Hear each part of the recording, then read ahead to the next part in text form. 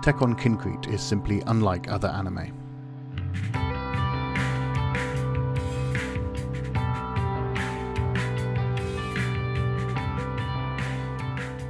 From its energetic art style to its erratic storytelling, Tekkon Kinkreet seeks to challenge what we think we know about the art form. We don't wag our tails for anyone.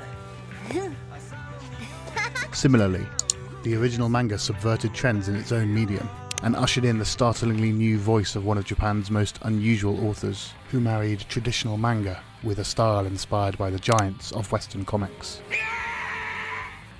With influences from Japan, France, and even the United States, it's no surprise that Tekkon Kinkreet became one of anime's most eclectic films to date. Today on Beyond Ghibli, I'm taking a closer look at the treasure of Treasure Town.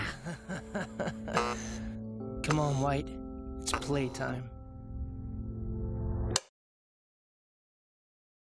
It only takes a glance to recognize that anime and manga have a mold, and if you spend any length of time with either, you'll realize few titles are willing to break free from it.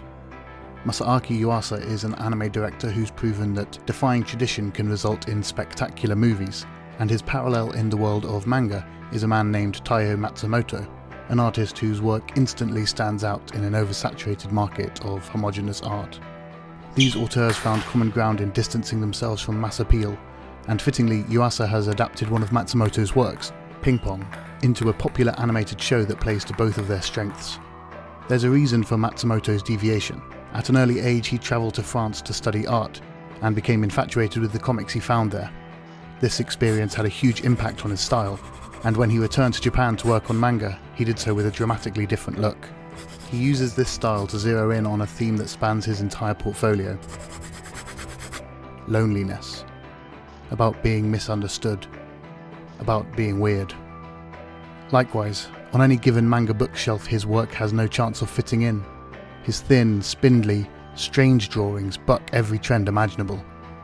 Surrounded by the saccharine, the melodramatic, and the relentlessly serialized works of his peers, his books end up being as lonely as their protagonists. Through his works, which are so often about children escaping to their imagination, Matsumoto holds up a critical lens to the real world, and his unflinching appraisal of humanity is often damning. Themes such as abandonment, isolation, and abuse run rampant, and Matsumoto points the finger at us and says that we failed our youth. But in his pages, there's a glimmer of hope. The children refuse to fail each other. In 1993, Matsumoto penned Tekkon Kinkreet, and it flipped the expectations of manga readers on their heads. There were plenty of shonen series at the time that had superpowered boys doing superpowered things, but Matsumoto presented kids leaping over skyscrapers and getting into violent fistfights as mundane, everyday encounters. Our protagonists, the young, naive White, and his older, protective brother Black, are lost boys in Treasure Town's Neverland.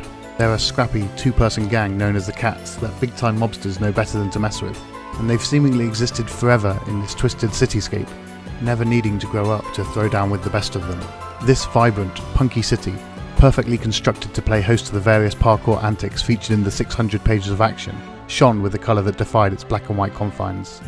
When I play Jet Set Radio, a game released seven years after Tekkon Kinkreet's debut, I can't help but see Treasure Town everywhere.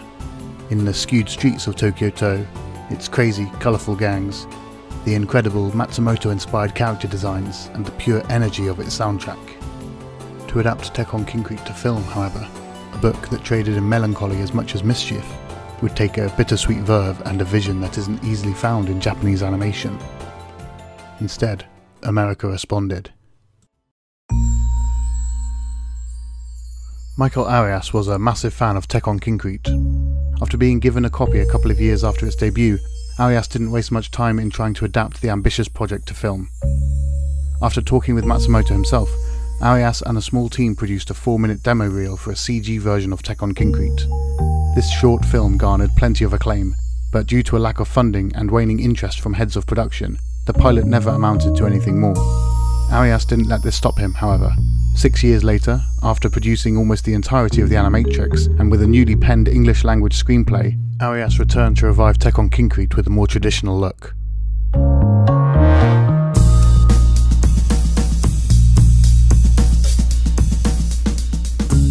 Black and white seem to leap from the pages of Matsumoto's work fully formed, and his style in motion is a sight to behold. Even more impressive, however, is watching them caper around a treasure town finally realised in all the garish colour it deserved. Indeed, this playground come battlefield is arguably the best character in Tekkonkinkreet, pulsing with as much life as our energetic leads. Reviewing the film, Manohla Dargis wonderfully describes Treasure Town as a surreal explosion of skewed angles, leaning towers, hanging wires, narrow alleys, and gaudily cute flourishes that bring to mind a Yakuza cityscape by way of a Hello Kitty theme park.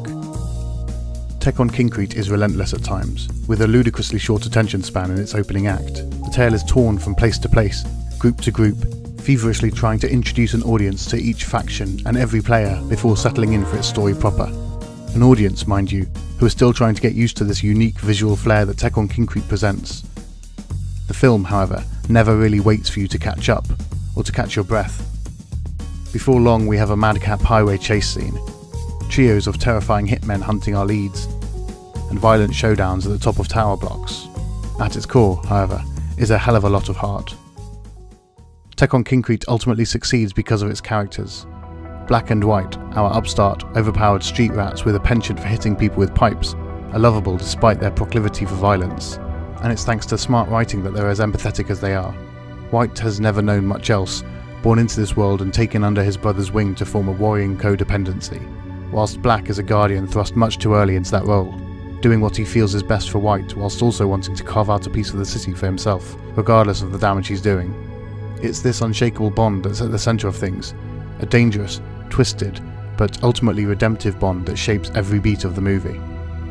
Even side characters, initially introduced as villains, reveal themselves to have hidden depths. In a movie about violently marking your turf, you'd expect rival gang members or the cops to be the bad guys, but Treasure Town slowly reveals a much deeper infrastructure than you first assume, full of characters you're desperate to get to know, and below it all that moody loneliness that Matsumoto has made his brand. Relationships, whether brotherhood, mentors and mentees, or lovers, are all fragile, delicate things in Tekkonkinkreet's rough world, a world that doesn't hesitate in straining them until they break free or break. Tekkonkinkreet did very well, scooping up a heap of awards since its release and garnering a loyal fanbase in the process. It made Michael Arias the first non-Japanese director of a major anime film, and he proved to the Japanese market that he was more than up to the task, translating a visual style most directors would understandably be terrified to adapt. Anime, this rich, joyful, multicoloured, multifaceted world that we all love, is a perfect parallel to Treasure Town. It's often gaudy and seedy, violent, bloody and cheap, but it's also vibrant, beautiful, alive. Tekkonkinkreet is one of the many treasures of the industry because it isn't afraid to ask the question that we, as anime lovers, should always be asking. What is anime? Depending on how we continue to both ask and answer that question, it has the power to change and evolve this medium that we all adore. A medium that has the potential to be one of the most versatile and exciting mediums around. The second we stop asking that question is the second it dies.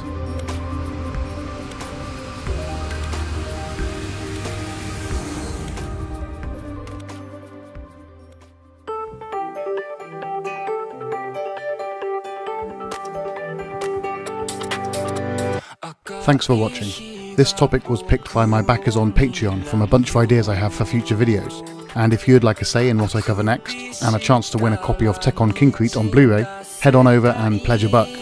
You'll also get access to a whole load of other cool rewards too, so hit the link in the description to check them out. Otherwise, you can follow me on Twitter or subscribe to me on YouTube to get notified when a new video lands. If instead you're wondering how I made it through videos about Yuasa and Matsumoto without ever discussing ping pong, hit the like button and I'll spank myself with a paddle until I've learnt my lesson.